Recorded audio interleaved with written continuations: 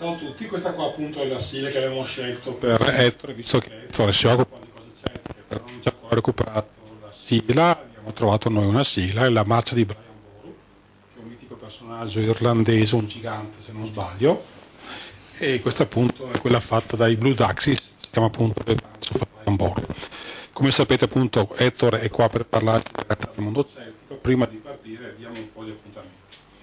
Domani sera c'è il Venetian Pagan Mut a Montegrotto Terme, ore 21, pub in bulk, c'è un tavolo prenotato, ci sarà anche Ettore, per chi vuole conoscere Ettore di persona fuori dalla radio, vuole appunto parlare delle realtà del mondo celtico, visto che non è un incontro organizzato, visto che non è una conferenza, ma si può parlare liberamente, se qualche ascoltatore vuole conoscere Ettore ha la possibilità di conoscere appunto questo incontro, perciò l'appuntamento è domani sera, Montegrotto, pub in bulk alle ore 21 noi saremo appunto presenti. Io ricordo poi la manifestazione di, per, in difesa della legge 194 a Milano sabato 14 gennaio alle ore 14 piazzale della stazione centrale poi si parte per la manifestazione chi ha la possibilità di andarsi benissimo ci partecipi perché merita e ha senso manifestare in questo caso. Ultimo appuntamento e poi lascio la parola appunto a Ettore. Il 20, sabato 28 gennaio alle ore 20.30 sala Radio Gamma 5 Claudio Simeoni tra il dibattito sul crogiolo dello stregone. Bene Ettore a te. Bene buonasera a tutti che Dea Riti alla Dea dei Veneti antichi vi porti salute e abbondanza. Io non, non mi resta che ringraziare Francesco, eh, Radio Gamma 5, per lo spazio dedicatomi un po' alla, a, alle tematiche che io di solito eh, cerco di portare avanti, portare a conoscenza magari gente che non conosce la realtà celtica nella forma sia spirituale, culturale e storica. Questa sera eh, mi sono preparato alcune cose per quanto riguarda un po' eh, la simbologia dell'abete e poi per quanto riguarda le quattro festività eh, in cui i Celti erano molto legati, che è eh, Imbolc, Lunasa, Lugnasad e Samain. Ecco, io eh, volevo così iniziare eh, con eh, la simbologia dell'abete, eh, visto che mm, sono passati eh, pochi giorni che penso che in, molte case abbiano eh, chi ha decorato la casa con, con, la simbologia natalizia, che però comunque adesso vi spiegherò un attimino che tutta questa cosa non deriva praticamente da un percorso cristiano, ma bensì da un percorso diverso, che poi eh, purtroppo come in tante altre occasioni il cristianesimo si è appropriato di tutta una simbologia e spiritualità celtica. Eh, visto che uno dei simboli più diffusi e importanti del Natale, ormai prossimo, è, senz'al- è, senz- è senz'altro l'albero di Natale, ovvero l'abete. Tra l'altro, anch'esso simbolo derubato impunemente dai cristiani chiaramente di origine pagana, simbolo legato proprio alla, alla notte più lunga dell'anno, il solstizio d'inverno. Ma che cosa rappresenta realmente l'abete? L'abete, nelle tradizioni, quando si parla di alberi sacri, il pensiero va subito agli alberi decidui, come la quercia, il faggio o il frassino. Ciò è dovuto al fatto che i boschi sacri dell'antichità erano composti in modo predominante da questi alberi, senza contare l'immaginario ormai radicato del druido abbinato alla quercia e al vischio. Ma è altrettanto vero che alberi sempreverdi sono sempre stati al centro di un fortissimo culto e l'abete è senz'altro un esempio. La sua caratteristica di albero sempreverde, non soggetto al ciclo di morte e rinascita degli altri alberi, fa sì che sia sempre stato associato alla vita. Esso rappresenta una premessa di vita eterna, una luce all'interno del buio invernale e come tale anche un simbolo di fertilità ed in alcune zone del nord Europa patrocina le nascite. Per quanto sua promessa di vita eterna e di luce nel buio, viene associato alla notte più lunga dell'anno. Nei giorni prossimi al solstizio vi era l'usanza di andare nel bosco e tagliare un giovane abete, il quale veniva addobbato con ghirlande, uova colorate, dolci e altre le cornie, a ricordare la fertilità e l'abbondanza che verranno candele e luci a simboleggiare le energie celesti. Gli antichi greci dedicarono l'abete a Poseidone, dio del mare, ma più che un altro motivo è che si utilizzavano tronchi di abete per gli alberi delle navi e anche in qualche modo un rapporto tra, Poise- tra Poseidone e l'abete c'è. Viene raccontato da Ovidio, il quale la fa risalire ai tempi eroici della guerra di Troia. Tale storia narra di Elatte, una dea lunare chiamata anche Cenide, la luna nuova, venerata dai Lapiti, antica popolazione selvaggia della Tessaglia, il cui nome Elatte è anche il nome dell'abete in greco. Elatte è il nome dell'abete in greco. Questa dea, figlia di Corono, il corvo, fu violentata da, Poesi- da Poseidone, il quale però fu preso dal rimorso e per cercare di riparare il torto fatto propose ad Elate di esprimere un desiderio. Ella stanca della sua condizione femminile, che gli era appena costata uno stupro, chiese di essere trasformata in uomo. Poseidone acconsentì, trasformandola in un invincibile guerriero di nome Ceneo, tanto valoroso in battaglia che i Lapiti lo elessero loro re.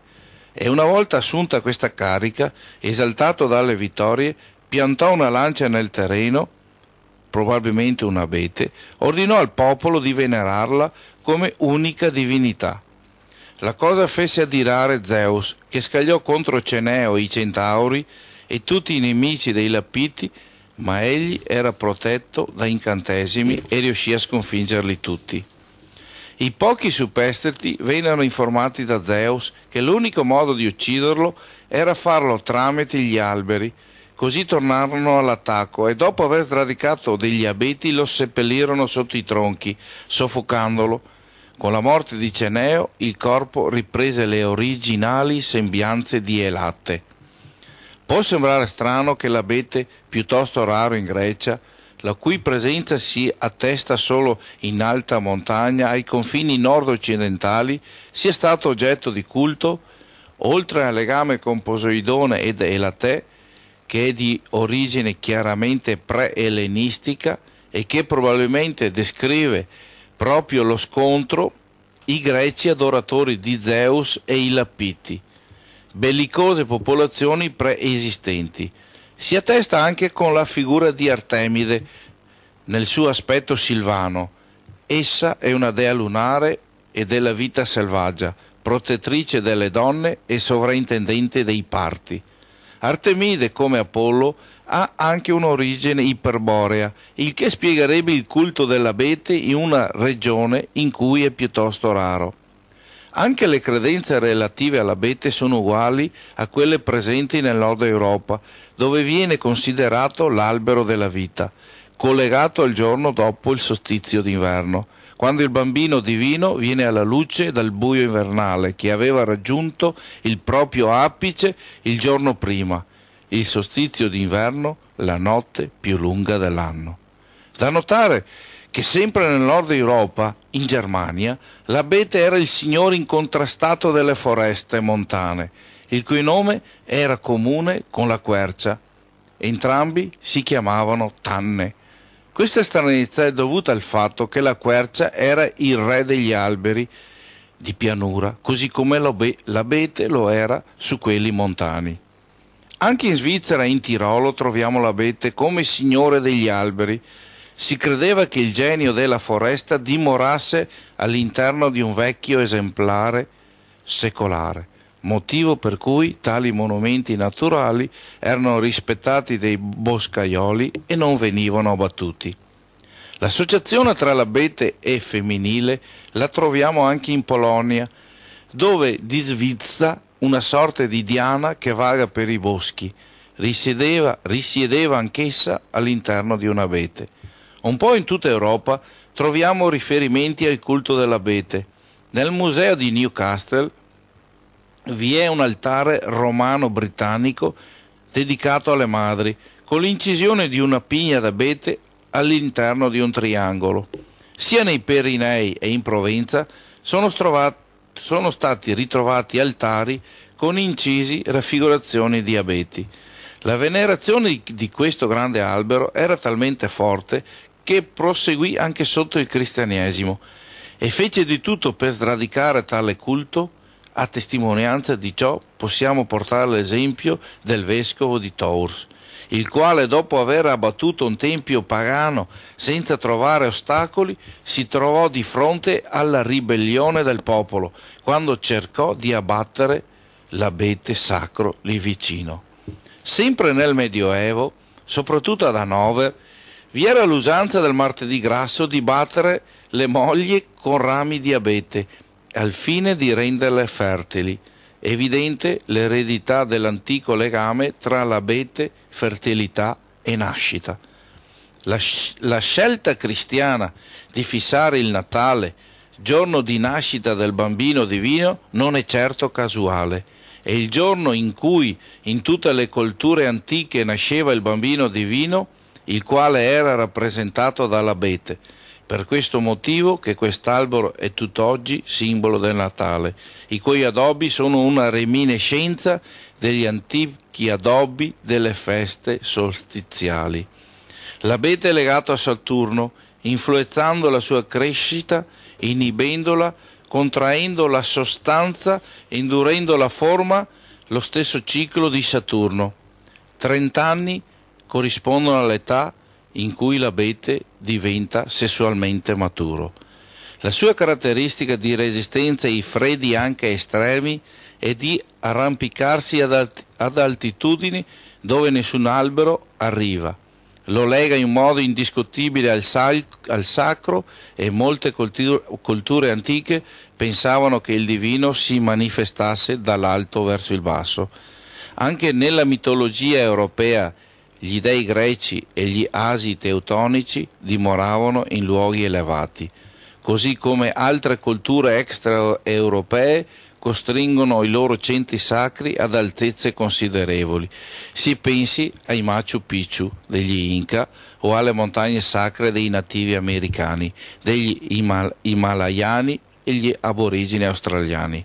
In molti casi in questi luoghi sacri sono presenti gli abeti, che con la loro tipica forma dritta come una lancia e le altezze che raggiungono sono vere e proprie antenne. Ecco, questa è un po' la storia eh, dell'abete, magari qualcuno già le conosceva, comunque è bene ogni tanto eh, riproporre. Sì, la... cosa si riferiscono appunto i simboli che in realtà sono così molto più antichi e hanno un retaggio enorme, insomma, che poi sono stati sfruttati come sempre da altre religioni che non avevano questa simbologia e non hanno la ricchezza, la profondità, l'enormità di un campo mitologico così ampio. Giusto. Mm. Eh, ecco, adesso volevo così leggervi, anche se non ho preparato un vero, mm, un vero eh, premessa sul vischio, però è molto importante che magari qualcuno venga a conoscenza. Eh, voi sapete che è una cosa molto mh, mm, sgradita eh, il ramoscello di vischio, magari metterlo vicino alla porta di casa. Però il vischio è una pianta, è un parassita che vive a spese di un certo numero di alberi, tipo il pioppo, il melo, il tiglio e la quercia. Ecco, poi dovete sapere che eh, l'impiego medicinale della pianta risale a molto tempo fa e i Celti consideravano il vischio della quercia in qualcosa di sacro e gli altri vischi in generale dei toccasana. Così come per numerose piante l'impiego empirico è stato confermato da studi clinici, in particolare le proprietà ipotensive, diuretiche e antipasmodiche. Ai nostri giorni sono in corso anche delle prove cliniche su certi principi attivi del vischio, le viscotossine, che danno prove in laboratorio degli effetti anticancerogeni, così da giustificare in parte l'impiego in Germania e in Svizzera di tale pianta nel quadro della medicina detto antroposofico nei, nei, negli stati precancerogeni e nel trattamento pre e post operatorio dei tumori. Ecco, come vedete, oltre ad eh, essere un portafortuna, il visco è anche una pianta con delle grandissime proprietà terapeutiche, in special modo contro i tumori a parte aver ucciso Balder, ma comunque questo è un problema secondario. L'ho, ho già ricordato appunto che nella famosa inizio del Ragnarok c'è l'uccisione di Balder, figlio di Odino, che viene fatto tramite un ramossello di vischio in quanto Balder è invulnerabile e Loki prende, lancia contro di lui un ramoscello che, di vischio che lo uccide. E di conseguenza per recuperare questo danno diventa una pianta appunto medicinale che permette di curare le cose. Ecco, vedi. allora, adesso voglio parlare di una festa, si chiama Imbolc. Guarda caso proprio come il nome del, del pub. pub domani, cui... domani sera ci saremo. Eh, letteralmente Imbolc, che è una festa celtica che si festeggia eh, adesso, significa letteralmente latte di pecora, latte di pecora ed è celebrata in onore della dea Briga, trasformata poi dalla Chiesa in Santa Brigita e si festeggia il primo febbraio. Si tratta di una festa prevalentemente femminile, incessata sulla nascita degli agnelli e sulla luce pre- primaverile, che nonostante il freddo ancora intenso cresce di giorno in giorno quasi incoraggiata dalle corone di candele ritualmente portate in capo dalle donne. È la grande festa del ritorno della luce.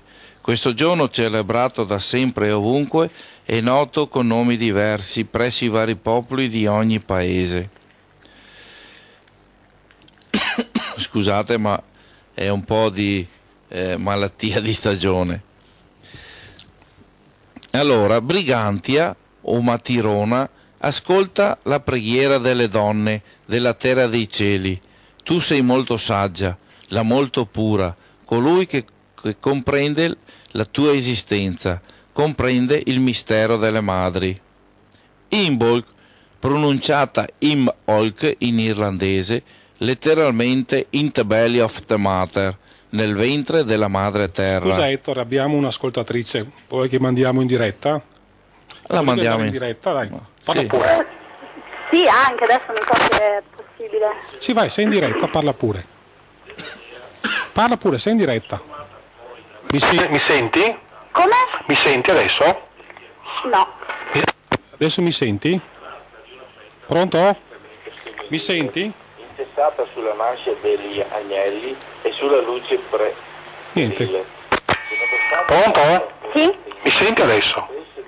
Sì, sì, sì, sì, sì, ecco. Vai pure, dai, parla pure, sei in diretta. Forse hai la ah, radio ah, troppo alto. Sì, sei in diretta, di, parla pure. Non sento... Ah no, perché purtroppo abbiamo un... Mi senti adesso? Come? Mi senti per telefono? Parla per, te... eh, parla per telefono. Sì, ok, adesso sento un po'. Ecco, no, perché tu sei su internet, scommetto. Sì, sì. E allora di conseguenza abbiamo un ritardo di, di qualche millisecondo, perciò parla pure, noi ti sentiamo. Ah, ho capito, mm-hmm. perfetto. Eh, niente, io ho appena ascoltato la, eh, quella, quella piccola, quell'intervento sul vischio e eh, ho letto recentemente che appunto eh, il, il fatto di baciarsi sotto il vischio praticamente eh, viene giù dalla, dalla tradizione mi sembra greca se non sbaglio, dove praticamente si credeva che eh, il vischio fosse lo sperma degli dei e quindi baciarsi al di sotto di esso era una specie di eh, portafortuna, insomma di fertilità, eccetera. Questa mi sembra una cosa molto carina. Sì, bella, Però- molto bella. Ma- Sì, che però chiaramente non, eh, non si, non- non si sa, insomma. Eh, No, no, non è che livello- non si sappia. Eh, aspetta che però ehm, l'ascoltatrice non ti ascolta dalla radio, ti ascolta da internet. E allora- no, no, stavo dicendo da Ettore che purtroppo ehm, lei, ti passo Ettore, perché noi, noi abbiamo il problema appunto che tu stai ascoltando da internet, perciò hai un ritardo di qualche secondo. Sì, sì, sì, ti passo infatti. Ettore. Sì, fai Ettore. E l'ascoltatrice purtroppo noi stiamo trasmettendo su internet ma con un ritardo di qualche secondo. Sì, mi senti? Pronto, sì, sì, sì, ecco, sì. Ecco, ehm, Sì, però devi stare vicino al microfono, se no gli ascoltatori non sentono. eh, non, mi, no- non mi hai detto come ti chiami Ah, scusa, hai ragione. e da dove chiami? Allora, io sono Monica e chiamo da eh, vicino Saronno. Però, ecco, significa che allora la nostra trasmissione è- interessa anche al di fuori del Veneto. No, comunque, eh, volevo dire, quello che hai detto è, è giusto, è vero. E fa parte anche un po' della simbologia celtica. e, eh, come hai sentito che avevo fatto una premessa, non avevo portato una relazione eh, molto sintetica Sì, no, eh, sul vischio, però quello che hai detto è vero, eh, baciarsi sotto il vischio fa parte anche delle tradizioni nordiche, però anche del nord Italia. Ah, ecco, anche del nord Italia. Sì, sì, anche del nord Italia, sì. Ho capito. Eh, perfetto, poi mh, tra l'altro sempre eh, riguardo a quello che appunto avete appena detto sulla nascita di Cristo, eccetera, giusto stamattina ho letto un, eh, eh, un articolo che riguarda proprio la, la comparazione, anzi diciamo un po', magari è brutto dirlo, però la copiatura Sì. del, della nascita di Cristo con la nascita di Horus dove praticamente ci sono delle parti identiche del, del racconto biblico, eh, soltanto che, chiaro, qua adesso poi magari andiamo, non so, in, in particolare un po' più, eh, non so se, se è il caso di parlarne, eccetera. Comunque, Siamo in fascia protetta, insomma, digli. la- la- Digli- digli che siamo in fascia eh, la nascita protetta. di Cristo- Siamo in fascia protetta. Ah, sì, sì, sì. No, vabbè, ecco, insomma, volevo un attimino eh, parlare anche un po' con voi, eccetera. Ah, una cosa che appunto non ho detto prima è che vi, eh, io ho saputo stamattina che esiste questa trasmissione Se- mh, sono dieci- tramite digli che sono eh, dieci- una, sono- una newsletter a cui sono iscritta che è Wicca News e quindi eh, si è parlato appunto di... di Dell'amico Giampaolo. Perciò ecco, insomma, volevo farvi i complimenti perché non pensavo che esistesse una cosa così in Italia. Digli dieci anni. eh, È dieci anni che esiste questa trasmissione. Eh, guarda, Ecco. magari faccio brutta figura, però effettivamente non- Grazie, non, comunque. non sapevo dell'esistenza Eh, Francesco ti ringrazia. No, mancherebbe. Va bene? Vi ringrazio. Eh, gra- insomma. grazie a te. Ciao, ciao. Arrivederci. Ciao. No, perché Ettore non lo sa, ma noi abbiamo fatto parecchio pubblicità al suo intervento radiofonico. Dobbiamo ringraziare l'amico Alessandro, perché purtroppo in questo momento Radio Gamma 5 non, sta- non trasmette su internet, ma stiamo trasmettendo noi tramite il nostro server. Dobbiamo ringraziare Alessandro che sta facendo un lavoro veramente enorme proprio perché questo server appunto sta funzionando egregiamente, fa un lavoro enorme, insomma. Perciò in tutto il mondo ti stanno ascoltando tramite internet. Dovresti essere contento. Allora, ringraziamo Alessandro. Ringraziamo Alessandro per il lavoro enorme che sta facendo. Va bene, e che è molto importante. Comunque, allora, Ci ritorniamo. sarebbe un'altra telefonata, che dici? Faccia- Andiamo? Andiamo. Sì, pronto? Pronto? Paolo, Ciao Giampaolo. scusa che abbasso un attimo. Ciao, Ciao. Claudio, ciao. Giampaolo è più vicino a noi. Ciao. Eh, stranamente mi sono reso conto da ignorante perché sto leggendo un po' sulla favola di Cristo che con tutto quello che si può dire però mi ha portato a conoscenza che siete stati derubati di tutto, ma non solo dei templi, Sia che della mitologia. ma di tutta la storia, l'hanno trasformata completamente in monoteismo, ma è tutta pagana, Sì. da come io la interpreto, e hanno rubato tutto. Sì, ma ma veramente rimango scandalizzato io che sono agnostico, che sono un, un povero mona qualsiasi, ma rimango veramente allibito. Con quale coraggio hanno mascherato tutto e trasformato tutto. Sì, perché sai, quando uno ha un Dio creatore non ha fantasia. Mamma che roba. Cioè di conseguenza deve derubare gli altri, prima li ammazza, li fa cancellare, li fa sparire e una volta che li ha cancellati, spariti, si, quello che gli fa Francesco, comodo lo non ricicla. pensavo fino a questo punto, Uh! non pensavo che per duemila anni, io che non mi sono mai interessato di queste cose, no? Però per duemila anni, pensandoci sopra, loro hanno lucrato su questa meschineria di prendere e rubare tutto, perché pazienza ai templi, ma tutta la storia l'hanno trasformata in monoteismo. Cioè, ma pare che uno storico ha detto che il cristianesimo è stato atroce perché ha trasformato la preistoria dell'umanità in preistoria del cristianesimo. Ma robe pazzesche. Tutto. Ma tutti, da Zarathustra hanno rubato tutto, tutto, tutto. D'altronde loro, lo scopo è quello di rubare la vita alle persone e qualsiasi cosa che possa Io servire non per... dico altro, lascio il discorso aperto perché di più non so dire. Grazie comunque Giampaolo. Scusa dell'intervento. No, no figurati, hai fatto benissimo. Ciao, Claudio. Ciao, Giampaolo. ciao Giampaolo. Ecco, allora veniamo a noi. Madre Terra è chiamata anche Oimelk o Brigantia o Ambivolcios in gallico antico, che significa attorno al levatoio in antico celtico. È la prima delle tre feste celtiche dedicata alla primavera, essendo le altre Alban Eiler 21 marzo, Beltane 1 maggio e si festeggia il primo e il secondo giorno di febbraio. Ettore, se vuoi, sarebbe un'altra telefonata. E allora Andiamo. significa che va bene, andiamo via. Sì? Pronto? Sì, ciao. Eh, buonasera, eh, Roberto da Padova. Eh, io invece sono totalmente in dissenso di quello che ho sentito, e essendo, mi sento non è nemmeno offeso perché, mh, pur essendo un cristiano ortodosso, Sì. non mi sento assolutamente intaccato da quello che ho sentito finora. Nessuno ti vuole Lo intaccare. rispetto, non lo, non lo condivido assolutamente.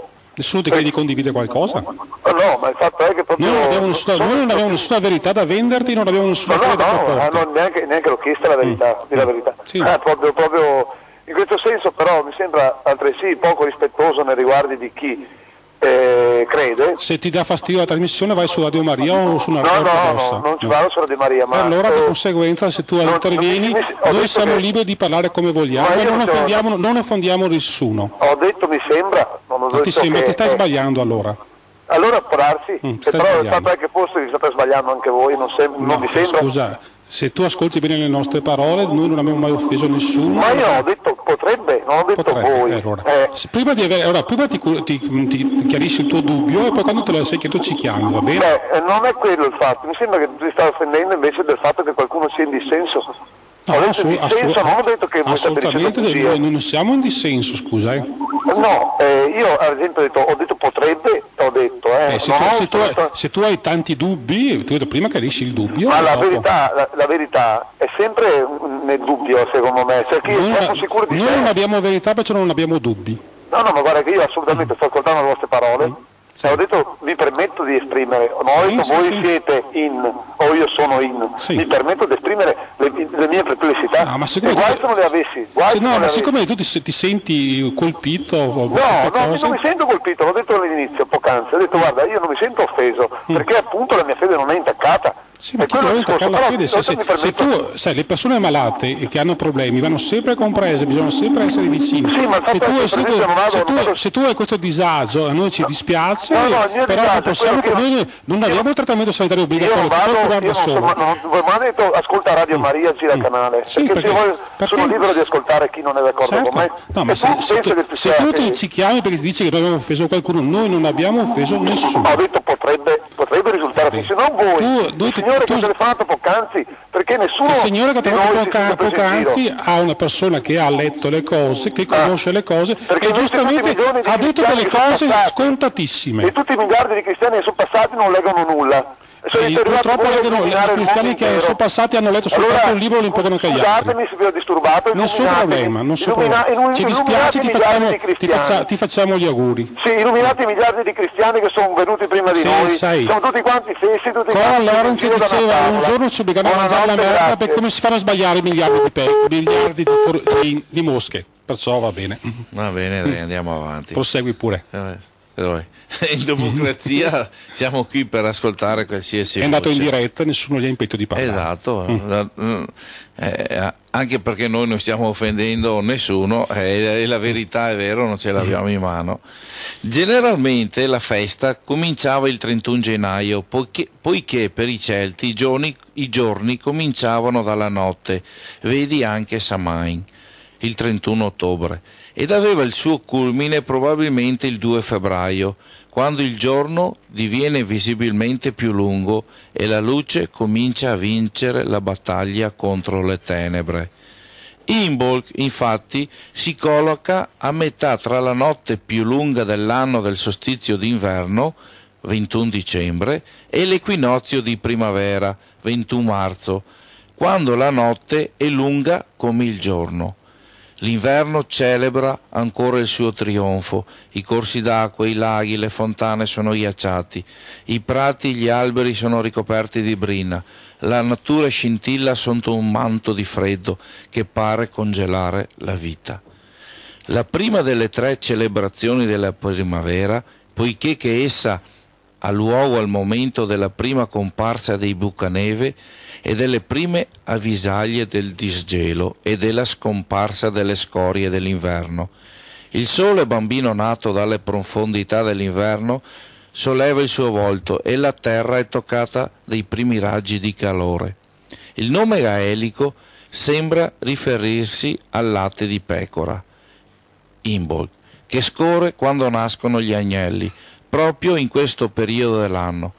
Questa festa era dedicata alla dea Brigid, figlia del dio buono, il Dagda, Brigantia, figlia di Dagovdevos, la dea dei poeti, dei guaritori, delle levatrici e alle forze femminili presenti in natura e, calde- e cadeva nel mese Ogam del Salice, l'albero femminile per eccellenza, essendo la dea Brigid, Brigid, Bride, Brigida, in Irlanda e parti della Scozia, signora della poesia, e anche la festività dei bardi e delle competizioni poetiche.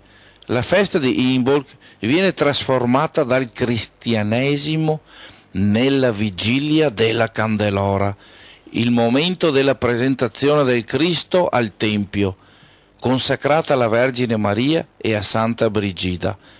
In Galles la festa viene chiama- chiamata Gewid Fire, festa di Maria, oppure nell'alternativa più recente Druiding Forwin, festa della Vergine, anche se alcuni druidi, perfino i pagani, utilizzavano il termine Candelora. Anche se Imbolc era una festa della primavera, le condizioni atmosferiche, specialmente nella terra di Keltia, non erano ancora tra le più favorevoli per festeggiare all'aperto, perciò la sacralità di Omeilk veniva vissuta particolarmente in famiglia, con ragazzi e ragazze che intonavano canzoni e preghiere alla dea Brigid. Era anche la festa delle nascite, non solo degli agnelli, ma anche tra gli umani, in quanto nove mesi prima, tra gli eccitanti fuochi di Beltane, le coppie usavano salutare l'arrivo dell'estate. Per i druidi di ieri e di oggi, la sacra festa in onore della donna ed il rito praticato ancora oggi dai gruppi druidici è particolarmente gentile, bello, garbato e intessuto di poesia. Un rituale adatto ad Imbol consiste nel prendere una candela bianca e piantarla in un calderone pieno di terra, oppure immergerla in un pieno d'acqua che simboleggiano il corpo della dea o le acque dell'utero femminile, oppure si può onorare la dea madre con otto candele che immergono dall'acqua al centro del cerchio della cerimonia. Una volta accesa la candela si medita e si ringraziano le nostre madri e le madri delle nostre madri. Questa è anche la festività dell'anno celtico, adatta alla visualizzazione dei nostri progetti, dei nostri sogni, ancora astratti ed avvolti nella speranza. Le candone vanno, vanno infuse di amore, sogni, preghiere. Per i Celti l'albero protettore del giorno dedicato ad Imbolc era la betulla, che era sacro alla dea Brigid. Ettore, se vuoi abbiamo una telefonata. Bene. Sei pronto? Niente, l'ascoltatore è caduta. Niente. Eh, significa che... Sì, beh, ricordo i numeri telefonici 049 700 700 e 049 700 838. Beh, su- vi- come vedi anche internet funziona e di conseguenza è positivo, sai che la radio riesca ad arrivare in tutto il mondo Ah, grazie a questo è internet. molto bello. Anche perché cosa vuoi? eh, sono così tanto pochi gli spazi in cui eh, poi si hanno a disposizione per portare a conoscenza magari cose che altri sapranno, ma penso che molti e molti non sanno. Poi d'altronde io potrei dare anche l'indirizzo internet dove si può Casomai, eh, sì. tirare fuori queste cose, Se oppure chi magari in, in loco qua gli può interessare, po- poi io queste carte gliele lascio qua in radio. O se no domani, domani sera viene Oppure domani sera se c'è qualcuno che viene alla festa di Imbolc a Montegrotto. Aspetta che c'è un altro ascoltatore. Sì, pronto? Pronto? Pronto? Sì, sei in diretta. Ciao, Parla pure. mi sentite? Sì. Eh, sono Daniela, ecco, niente, volevo solo sapere mh, da voi il significato della croce celtica, che ho visto, siccome sono stata in Irlanda, ho visto mh, molti posti anche in, eh, sì, mh, diciamo nei, nei reperti archeologici, così presente questa croce. Ecco, vi ascolto per radio, grazie. Bene, grazie, ciao. Croce celtica? Puoi spiegare a te che sei un celta? Beh, la, cro- la croce celtica non deriva precisamente dai Celti, ma è una cosa che eh, è stato poi con eh, è stato San Patrizio praticamente. Sì, beh, logicamente è stata una ripresa anche di antiche mitologie perché è stata un'evoluzione di rotte solari, cioè nel senso, eh, tanto per dire anche il famoso svastica, poi rigirato diventa una croce celtica, perciò è sempre un movimento, cioè i quattro angoli del mondo con un centro, con un asse, per l'Icadressil, l'albero, cioè l'asse, l'asse del mondo, l'albero della vita, è un punto di fermo, però c'è anche un movimento attorno. Ecco, vedi il trischele, l'oltrischele, insomma. Esatto, cioè, è sempre un'evoluzione. Cioè di queste simbologie appunto solare e circolare. Sì, pronto? Pronto? Sì, salve Moini da Roma. Sì. Volevo solamente intervenire per dire una cosa al signore che ha telefonato prima, che ho sentito che ha detto che i cristiani sono arrivati prima di noi. Volevo solamente dirgli che non è questione di religione, di storia della religione, basta prendere una storia del teatro qualsiasi, un libro qualsiasi che riguardi la storia del teatro, per vedere qual è la storia proprio, non l'opinione nostra. Tutto qua, solo un consiglio. Grazie. Grazie. Ciao, ciao, ciao. Beh, vedi, anche a Roma. Beh, io sono contento per te Francesco. e ringraziamo sempre Alessandro per il grande lavoro che c'è. Esatto. Aspetta che c'è un'altra telefonata. Sì, pronto? Ciao Gianluca da Vicenza. Scusa, una domanda. eh, io tornando a casa ho visto tutti i fuochi che parlano di pane e vino per il giorno della Befana, diciamo. Hanno un qualche significato. E poi volevo chiarire eh, la cosa della croce celtica. Sono stato a studiare inglese in Irlanda quest'estate e mm, hanno chiesto il professore così se sapevamo da cosa venisse la croce celtica. Io ho detto, l'ho indovinato, ho detto, hanno messo una croce dentro nel sole, perché il sole era dorato dai pagani là e quindi ci hanno messo la croce dentro e la gente andava. L'ho indovinato perché hanno fatto la stessa cosa in Sud America, hanno preso San Francesco e gli hanno messo vicino il serpente. Se, tu pensi, a lo, lo stensorio, se quello dove mettono l'ostia, che ha forma di sole, siccome c'era il culto del sole, allora cosa hanno fatto? Hanno preso il sole, l'hanno raffigurato e certo ci hanno messo l'ostia. In maniera Eh. tale da, da avere una continuità in questo senso. Mi hai sentito? Sì, sì, l'ho sentito Cioè, di bene. questo c'è anche lo stesso, sai che proprio a tutti quanti proprio i raggi del sole proprio era perché c'era il culto del sole, solo che da tutti hanno inserito l'osta all'interno per richiamare. Per il discorso del pane vino, la ritualità del fuoco è una ritualità di passaggio ed è di auspicio. Eh, D'altronde già nella cultura contadina veneta si diceva se se il fuoco andava da una certa parte portava eh, fecondità e benessere, se dall'altra parte era un anno magro. Però il rituale del passaggio del fuoco è un rituale di libertà perché anche attualmente in Iran la primavera viene festeggiata appunto tramite dei fuochi, cioè proprio è il culto diciamo mondiale che il fuoco rappresenta un passaggio, rappresenta un simbolo, rappresenta una porta, soprattutto in legame con i, solstizi e gli equinozi. Perciò il fuoco è un, è un accendere un- qualcosa nell'oscurità, nel momento tipo del solstizio d'inverno o dell'epifania che il sole comincia ad allungarsi, è quasi un legame simbiotico, armonioso tra quello che avviene nella natura e quello che l'uomo può fare. Perciò se tu conti un retaggio dell'utilizzo del simbolo del fuoco e dei falò. Beh, non dico nel cristianesimo il fuoco perché ci hanno dato fuoco a tanti di noi. Non Però- trovato in morte. Eh? No, il luogo dell'Inquisizione. Cosa- Allora un'ultima domanda poi vi saluto. Cosa sopravvive secondo voi nell'Italia d'oggi dell'antico paganesimo, oltre ai fuochi della Befana? Moltissime cose. Ti posso fare un piccolo particolare. Ehm, a me è successo di leggere su un testo di strogoneria francese di alcuni eh, riti per mantenere le, ehm, le sorgenti. Viaggiando in alcune valli dell'Alto Vicentino ho visto questi riti fatti da gente del posto che questi libri non li aveva letti. Incredibile. Sì. Bene, allora buona serata. Grazie, ciao. Grazie. Bene, possiamo proseguire. Sì. Sì, comunque diciamo, rimane moltissimo, cioè, mh, tutto quello che abbiamo attorno, tante volte anche le feste patronali, le feste dei patroni, sono retaggi di proprio di feste del luogo, cioè alcuni santi sono in realtà eh, geni del luogo tramutati in santi, proprio perché non potevano essere estirpati. Siccome non erano tipo come Giove, che era più difficile riciclare un Giove, un santo locale copriva ad esempio un qualche genio del luogo. Eh, infatti io volevo fare una promessa su questa cosa, era eh, di un una settimana Mm. fa mi sembra che per mano di una figura dell'ARPA sembrava che a Padova avesse proibito di bruciare il falò in Prato della Valle, no? Sì. Ecco perché secondo questa figura le ceneri sottili inquinava l'aria, no? Però io eh, mi, mi ero fatto un pensiero che secondo me non era propriamente questo e che probabilmente a qualche figura ci voglia togliere proprio qualsiasi tipo di tradizione. Ma se tu pensi che il vescovo di Como, Maggiolini, è arrivato al punto con i bambini presenti a dire ai bambini Babbo Natale non esiste, esiste solo Gesù. E più la Befana è anche brutta. In basilica a Como durante un'orazione fatta con i bambini. Cioè, renditi conto come i bambini potresti anche fingere di accettare una cosa loro, perché d'altronde appartiene alla loro realtà, perché gli devi fare questo shock? L'ha fatto all'interno della sua basilica, ha detto questo qua. Babbo Natale non esiste, esiste soltanto Gesù bambino.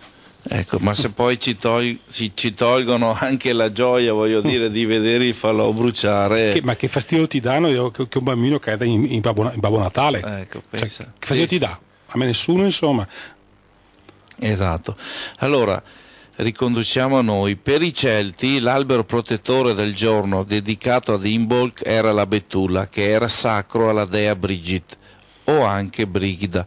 Con Samain è la festa più importante. In queste due feste si pensava che le porte del regno degli spiriti e il regno delle fate fossero aperte. Ma è certo che se Samain era la festa dei morti, Beltane era quella delle fate e dei folletti, in quanto, mentre Samain rappresenta l'inizio dell'inverno e la metà de- oscura dell'anno, e invece Beltane rappresenta l'inizio dell'estate e della bella stagione. È la terza delle feste celtiche dedicate alla primavera, dopo Imbolc e Eostara. Letteralmente tradotto dal gaelico, Beltane significa i fuochi di Bel. Questa festa, infatti, viene tenuta in onore del dio Bel, Belenos, divinità del fuoco e della luce, e attraverso il fuoco rigener- rigeneratore acceso... Ettore, se vuoi, mi spiace di interrompere, perché abbiamo pochi minuti, c'è un ascoltatore. Eh, allora ascoltiamolo. Sì, pronto? Pronto? Sì, ciao. Ciao. Mi riferisco a- notizia che hai appena dato sui bambini che Sì. mi ha detto che Babbo Natale non Mm. esiste. Sì. Dai, se si arriva a credere a uno che cammina sull'acqua, che è morto e dopo tre giorni l'è risuscitato e che una se sta incinta e se per opera dello Spirito Santo si può credere che anche a Babbo Natale. Esatto, hai ragione, perfetto, so- concordo con te. Come? Cioè, è giusto, è giusto credere in Babbo Natale perché se tengono a proporre... eh, Cioè, se si arriva a credere a certe robe, Sì. penso che uno possa credere anche alla Befana e fa, Babbo Natale. però fa, fa meno danno Babbo Natale che? Gesù Bambino. Sì, eh, aspetta. Fa, fa meno, mi senti? Mi senti? Mi se- sì, sento. Eh, mi fa meno danno Babbo Natale che Gesù Bambino. Sì, ma certamente, ma, ma, ma con che, ma con che cosa che, che, che ha detto una roba del genere? Se se da denuncia una roba del genere. Sarebbe da il vescovo Maggiolini. Sì, in chiesa. Fai tacci di merda che non sia altro. Vabbè, ehm, sai, questo l'hanno fatto e di conseguenza nessun problema. Denunciarli per abuso della credulità popolare. Sì, beh, que- questo l'ha fatto Cascioli. Altro. Va bene, grazie. Ciao, ciao. L'ascoltatore giustamente era un po' arrabbiato e Eh, si sentiva anche dagli epitafi.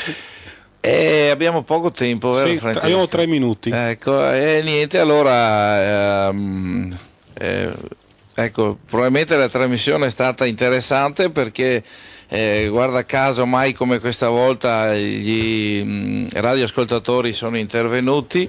Io adesso che posso dire, spero di avere ancora qualche spazio in radio per magari parlare anche di altre cose e quello che posso dire è che comunque io auspico che i signori culturati, gli assessori alla cultura, eh, lo so che è un momento molto difficile economico, che non ci sono soldi, però se noi abbiamo eh, così in mente di fare la- una festa celtica a Padova, se magari c'è qualcuno che si propone o si proponesse anche a darci una mano, eh, magari può eh, mettersi in contatto con Francesco, che poi Francesco si mette in contatto o se no con do- o domani sera può, può. Oppure domani sera se venite alla, a Montegrotto, al pub Imbolco, magari là possiamo parlare così, e così mettere un piano programmatico per quest'estate, insomma. Sì, ecco, io appunto allora ricordo, perché ormai siamo abbiamo pochi minuti, io ricordo appunto che domani sera sia io sia Ettore